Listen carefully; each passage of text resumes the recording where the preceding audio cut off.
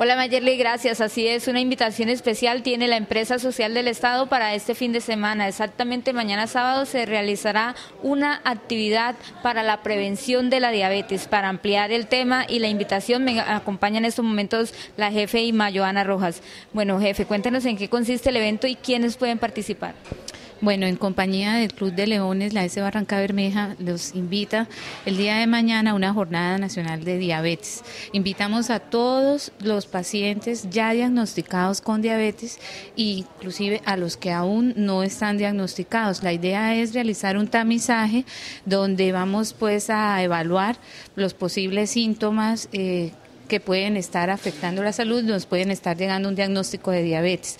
¿Qué vamos a realizar? Entonces la idea es realizar valoraciones médicas, valoración nutricional, exámenes de laboratorio como la glicemia y glucometría para poder identificar las posibles alteraciones de, glicemia en, ustedes, los usuarios de, de Barranca Bermeja.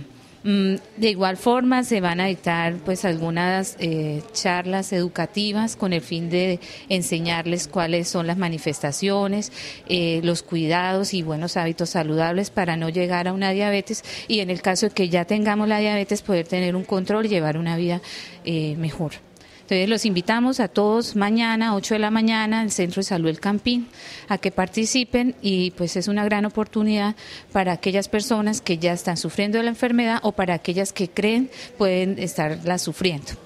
Bueno, jefe, muchas gracias por la invitación y pues ya sabe la gente mañana en el barrio El Campín a partir de las 8 de la mañana. Hoy precisamente en el Hotel San Carlos se realizó una capacitación para todo el cuerpo médico de aquí de Barranca de algunas instituciones sobre este tema de la diabetes que es catalogada como una pandemia mundial. Información por el momento con la cámara de José Prada, Nolva Paola Rodríguez para Noticias Telepetróleo.